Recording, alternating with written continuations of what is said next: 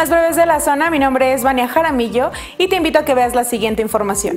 José Luis Ramírez, asignado como escolta de la familia de Mario Martínez Razo, exdirector de Planeación y Administración de la Secretaría de Seguridad Pública de León, fue ejecutado mientras se encontraba en el municipio de Irapuato. Derivado de este hecho, hoy, el secretario de Seguridad Pública de León, Luis Enrique Ramírez Aldaña, presentó su renuncia. Y es que la víctima se encontraba esperando a la esposa de Martínez Razo, mientras que ella era atendida en una estética en la Avenida Ejército. Contra Martínez Razo hay un expediente abierto en la Contraloría Municipal.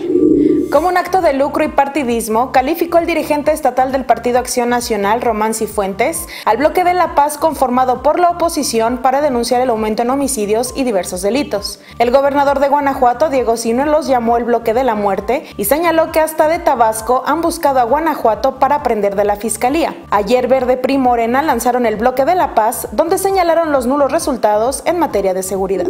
Por disposición federal, desde ayer, para abordar un autobús del grupo Flecha Los usuarios tendrán que presentar un documento oficial que acredite su legal identidad. El grupo Flecha Amarilla mencionó sobre esta nueva disposición señalando a los pasajeros que podrán identificarse con su credencial, cartilla militar, cédula profesional o pasaporte. La iniciativa surge para contener a migrantes. La información completa la tienes en nuestro portal y quédate pendiente de todas nuestras redes sociales. Mañana Carmen Martínez te presenta más información.